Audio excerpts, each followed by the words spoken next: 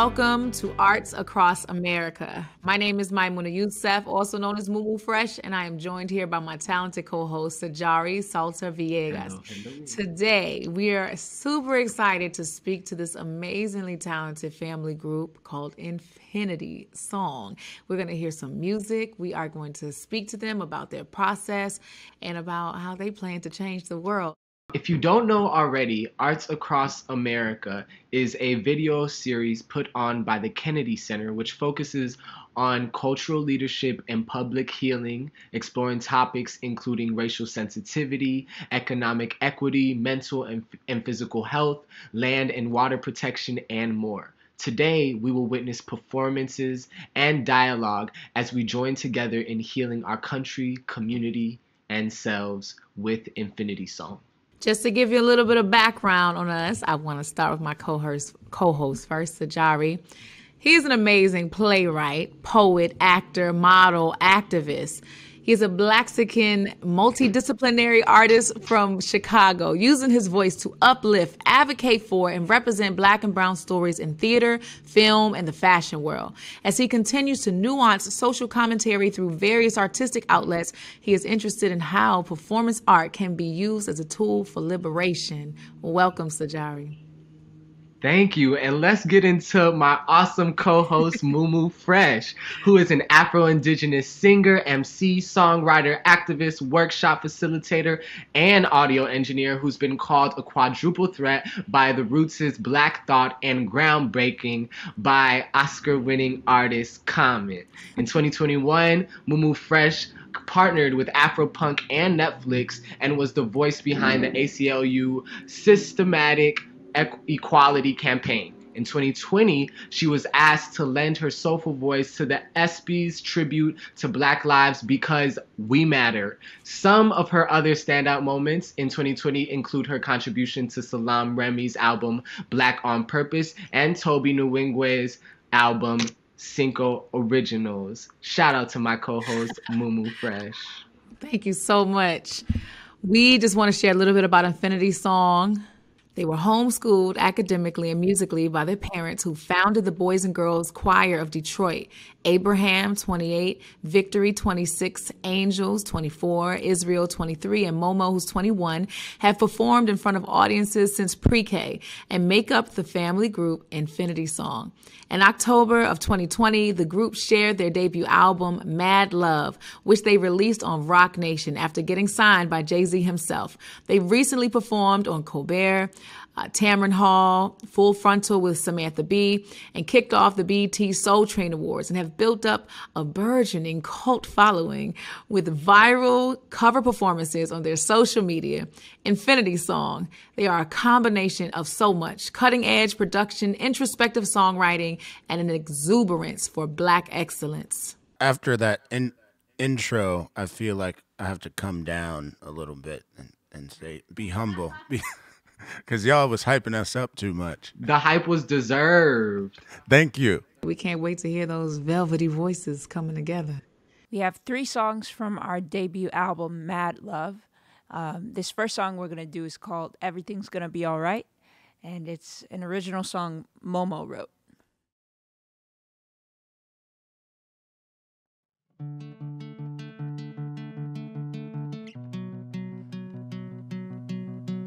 Quiet whisper in the dead of night tells me everything will be alright if I keep my head to the sky. Everything is gonna be alright.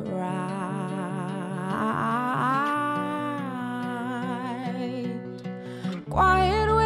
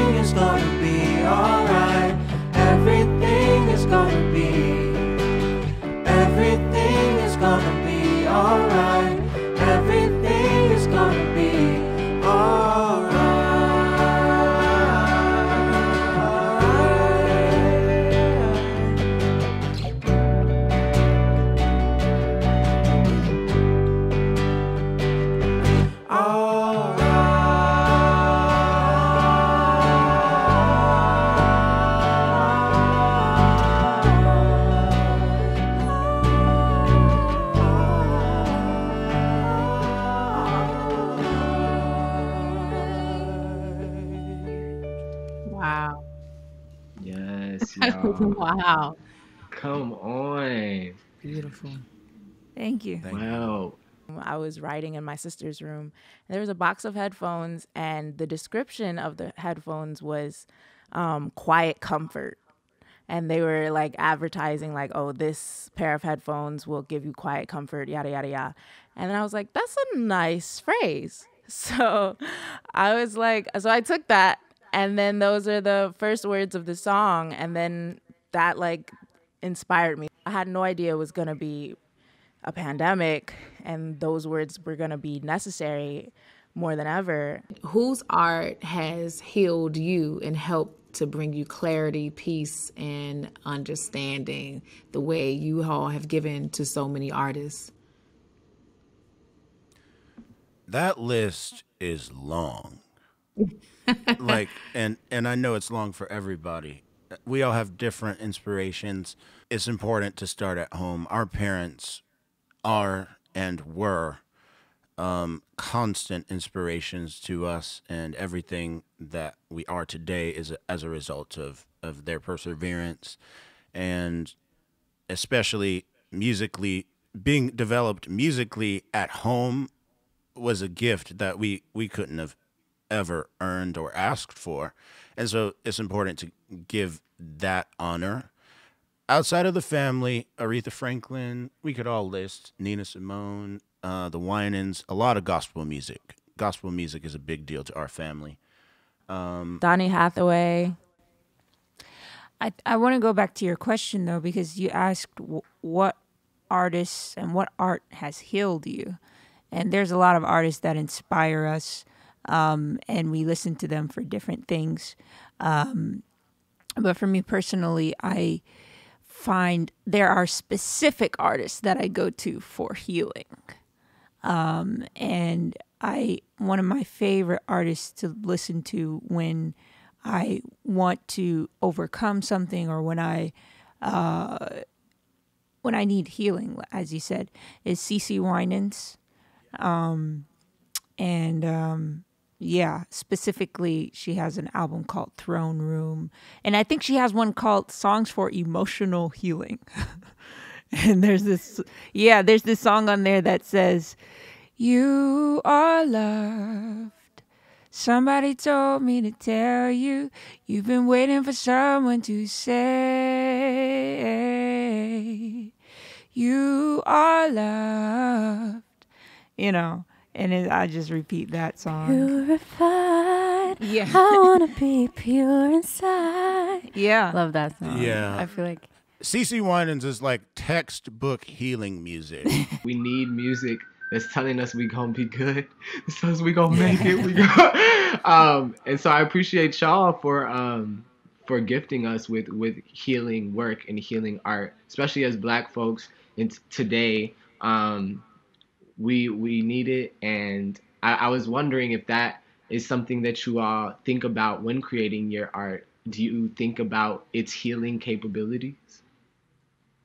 Honestly speaking, I know people are touched by the music that we sing, but last year was filled to the brim with just like em- emotionally um, nerve wracking events from the pandemic to the racial um, unrest. And a lot of times we would just come into the studio and have to sing to ourselves. Like in, in order to like make sense of it all, we would be singing from a place of, of need. Um, and that came through in our performances to the people. Like we were singing to ourselves a lot of times and and just exploring and and trying to articulate what we were feeling and that journey came through in our performance and hopefully resonated i think resonated with a lot of people so it was it was definitely internal You can hear it in your blend. You know, you hear the love between you all in your blend. Like not everybody blends together, and the way you all's voices resonate. You know, you all have your vocally have your own relationship with each other. Just I don't know if it's just because you've been talking to each other, singing with each other since you were born, but it's just such a beautiful, just harmonic embrace that happens with y'all's voices. Yeah. Thank you. Thank you. Thank you. It's definitely um a journey. It's it's like if I were to describe our blend and the process to getting it to blend, and I'm not touch, just talking vocally, because before you get to the vocals, you have to Yeah. be in harmony in spirit, Yeah. right? And um and it's a process, kind of like black hair. It's like you, you don't just wake up and it's automatically blended. you have to. It's a process. moisturize that joint. Right, exactly. and if anything, this pandemic took us through a deep conditioning process. Yes. How do you all decide who sings what parts, right? Because I used to, s- when my grandmother was alive, we had a group called Three Generations. So I grew up singing with my mother and grandmother. And me and my mother used to fight about who was going to sing the soprano part and who was going to sing the alto part, you know. or sometimes, um, you know, there might be one part that's like a little more difficult. Some of the intervals are further apart. And you're trying to figure out who's going to sing what. And my mother would keep saying, "Don't jump on my part. You stay on your part." You know, We do that. That's us. you Well, all do that. Not me, but It's all right, you'll be up in there be too. the Don't one, fret. Uh, as soon as you claim a part, you gotta record it in a voice memo so you have proof when people try to steal it later. the three of us, we, we like to look at ourselves as the Oh, yeah. We call ourselves Okay. the We call ourselves the Supremes. supremes. Okay. That means we we we've hit a stride with three part harmony and a sweet from a yeah from a women's like vocal perspective, vocal perspective. Okay. And then the guys kind of like, like accent and compliment that- it, and yeah. bring it out more. exactly. Okay. So uh, we have our go-to formations where we just like, all right, divide and conquer. Let's hit this. let's hit it with this strategy. And if and if it. any of the Supremes watch this, we hope that you feel honored by that um, internal. Inspiration. Yeah, it's it's really inspiration, not even a comparison, because how can you compare yourself to the Supremes? But you can't. we feel We Like feel like we're you. exactly. It's like dressing up as Superman.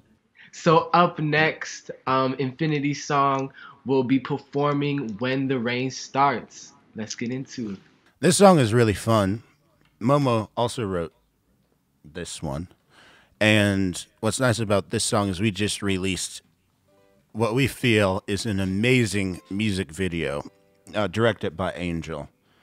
Um, we were out in Wyoming and we just danced expressively in an open field with mountains in the backdrop.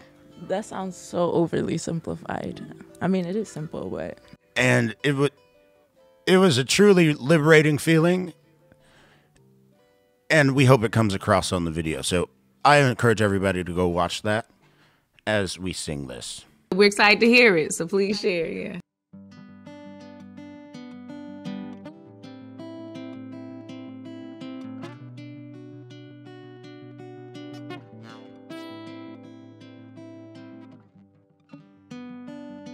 when the rain starts?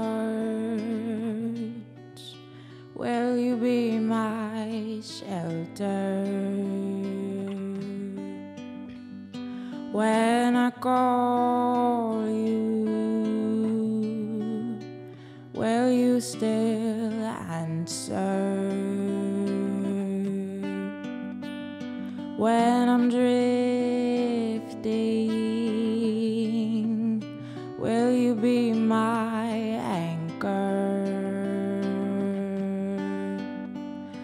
when the world ends, will you be my savior?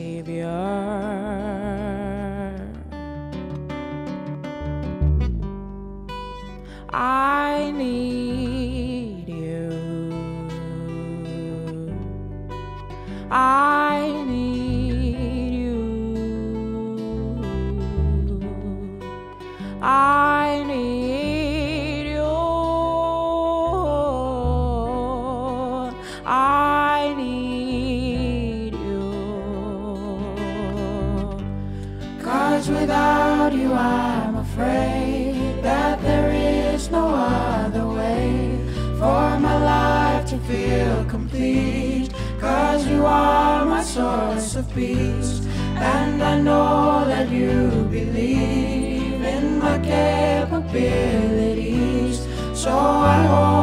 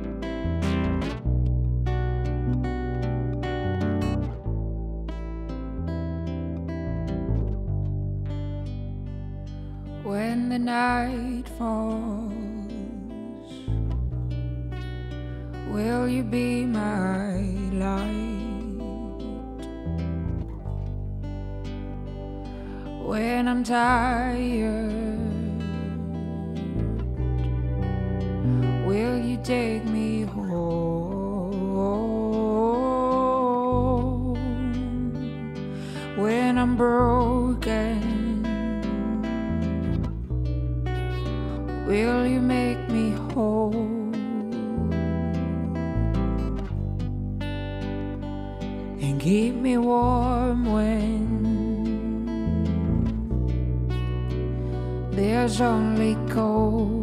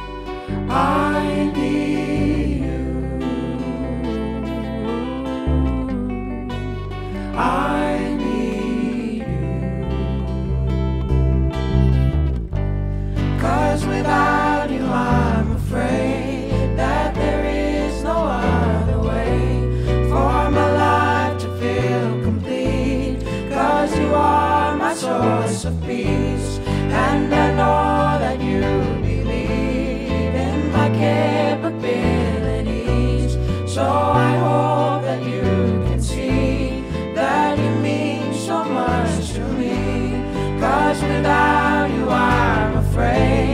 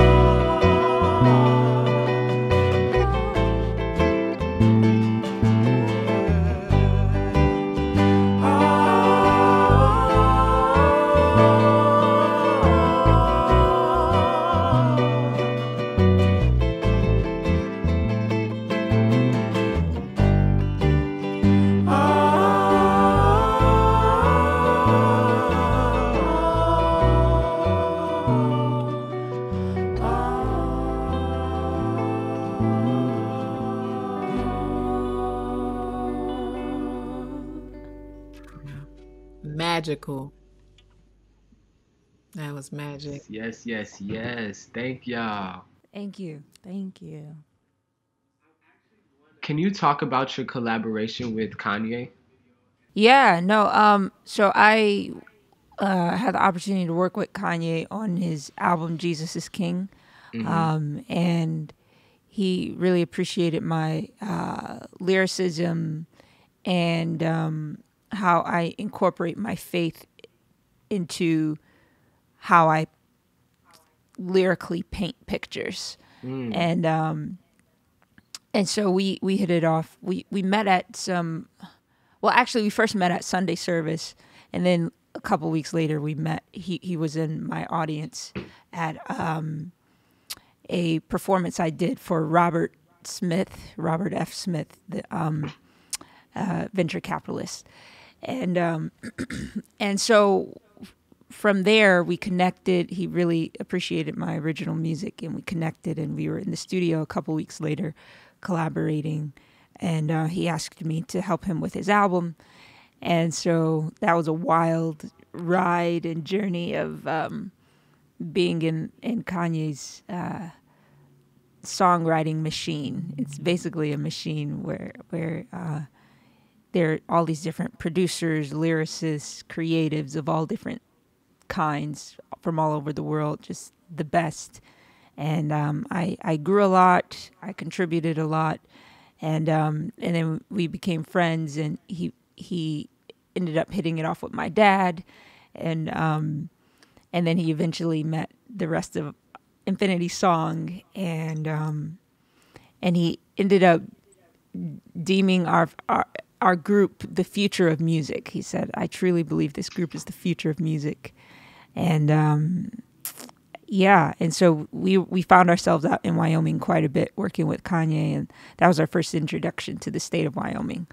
Um, and then, yeah, we just kind of like existed between the metropolitan area of New York City and Wyoming for for quite some time, and uh, and yeah, That's what's up. And then so the making of this video, fast forward from that first, you know, collaboration with Kanye to this to the making of this video, um, was the scenery inspired by like your love for Wyoming? Like how why did you guys choose this place to create the video for this song?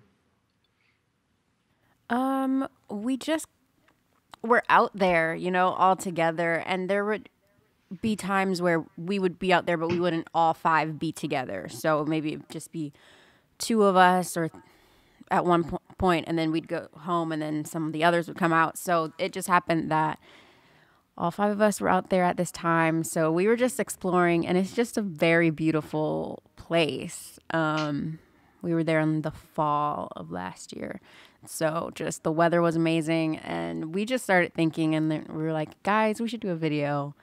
And I was like, say no more. and then, when she says when she says we started thinking by that she means no, I literally thinking. you. Yeah. I didn't say that. Literally you. You were like, we should do a video. And then I had already had the thought that we should do a video, but when you said it, I didn't actually want to bring it up. But you oh, said it. Then I, I was like, okay, let's do it. So for our third and final song, tier at it being the final song, we have Mad Love.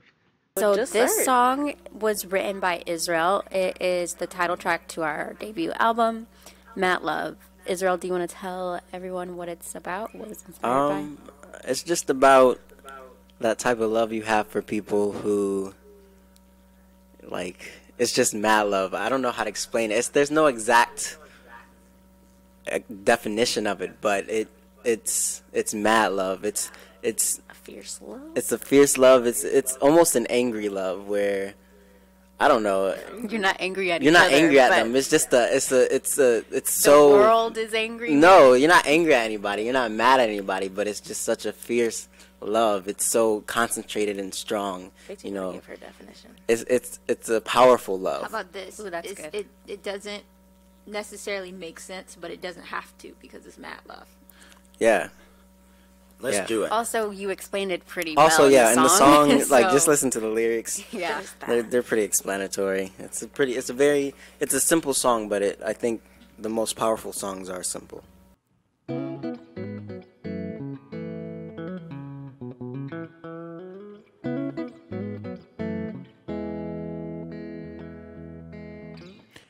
I got mad love for you, brother.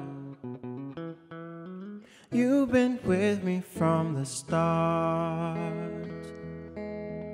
I got mad love for you, sister. You got a piece of my heart. Even though I know I don't say it's enough. I want you to know what I feel in my heart. I don't want you to think that I take you for granted. You mean so much to me, please understand it. Cause I got mad love for you. Yeah, I got mad love for you. Hey, I got mad love for you. Yeah, I got mad love for you. Oh, I got mad love for you. Yeah, I got mad love for you. Hey, I got mad love for you. I've got mad love for your mama.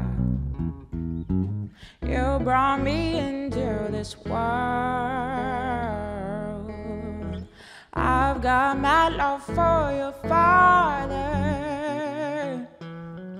You taught me to persevere. Even though I know I don't say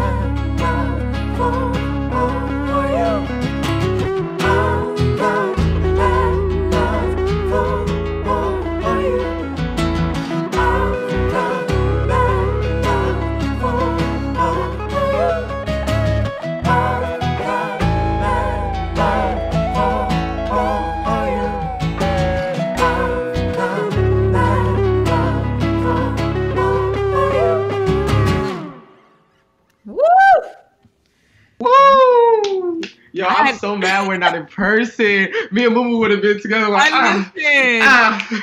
I had to put my mic on mute so I wasn't over here shouting and calling in the spirit now. Right.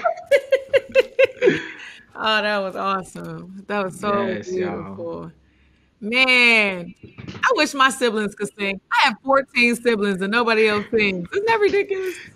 Why? Hey. Well, my baby sister does, but she won't.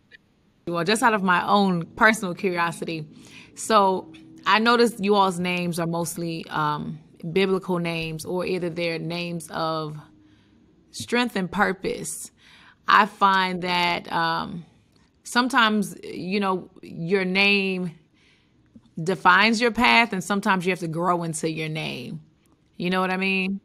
And I want to ask you all about your names. Like, do your names are, are they? Do you feel like they're aligned with who you already are, or who you're becoming? They're oddly aligned, very specifically. I think they kind of Yeah. dictated who we would become, or like spoke it into existence. Okay.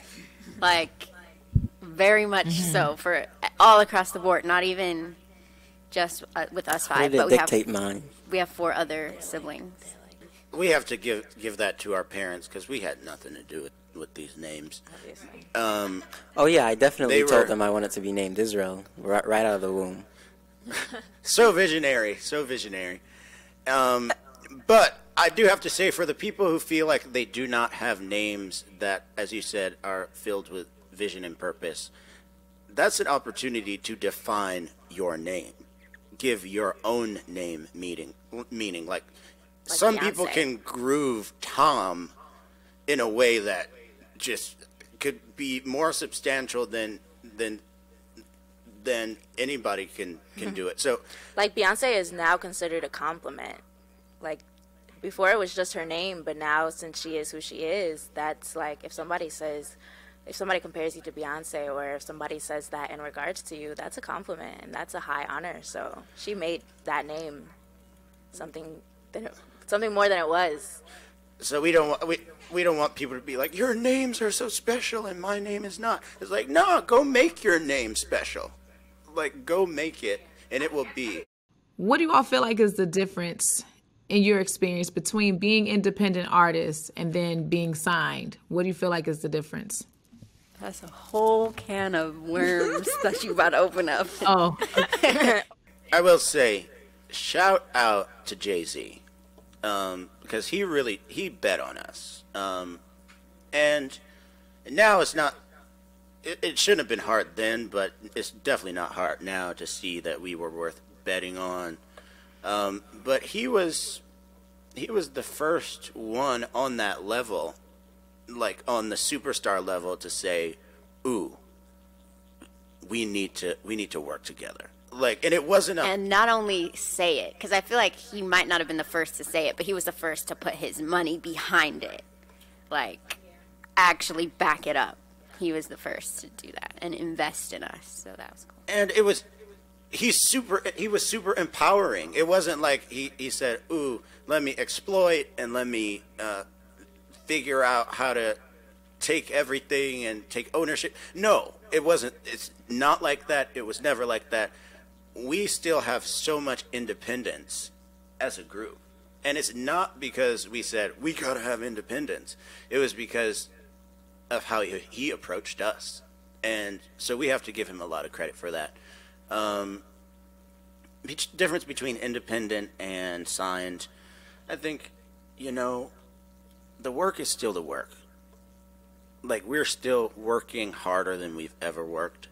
Um, I don't know about all that, but I'm harder, but still hard. we're working hard.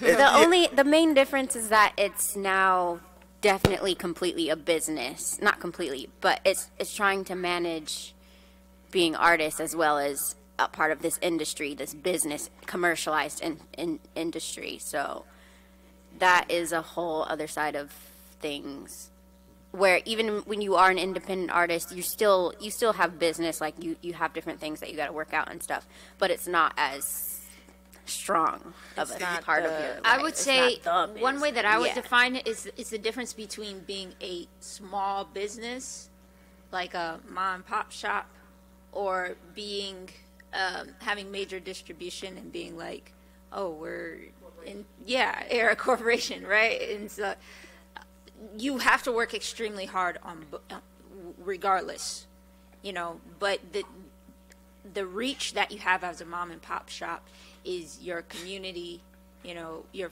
your friends, your family, people in the that are within your sphere of influence, and it doesn't have very large of a reach. Um, but then when you're a corporation, you can your reach can all of a sudden be international. You have reps in the UK and reps in the States and South America, wherever.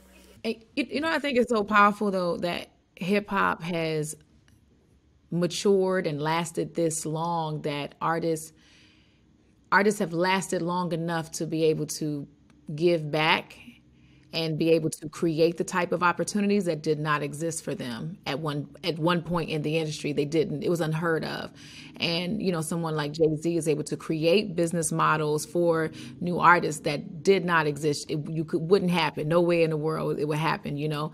And now it's like changing what is possible you know for um yeah especially for young black artists you know is really changing what's possible. I remember being a 17 year old and getting into the business and just some of the rhetoric, what was standard was never fair, but it was what was standard. And you were not offered what was fair, only what was standard, you know? And so it's good to see. Yeah, it's good to see that it's changing. It's, it's like hip hop has lived long enough to truly change the business, you know? So that's, that's amazing. The presence of someone like Jay Z and these other um, mavericks or trailblazers is that they are literally changing what is standard into a more Yeah. fair model for so many Yeah. people across the industry. And so we really have to tip our hats to, to people like Jay Z. Word. Well, thank you all so much um, for joining us here at Arts Across America. Um, we've been blessed to have to be in conversation with and to enjoy Infinity Song. Um, shout out Mumu, my co-host, Thank for you. keeping us right and tight and live. Um, see you soon on the next video coming to you with Arts Across America with the Kennedy Center. Peace, y'all. Thank you all so much. Thank you, Infinity Song. Take care. Thank you.